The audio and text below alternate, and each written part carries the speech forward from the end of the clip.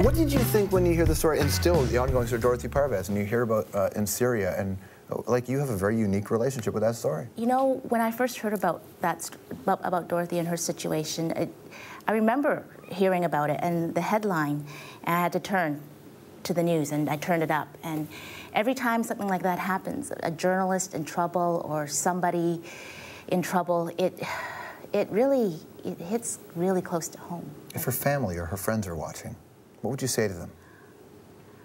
She she knows you're pulling for her. She knows she she's she's going to survive. She'll she'll come back as best she can, mm-hmm. and just don't give up hope on her. Don't don't ever give up hope on her.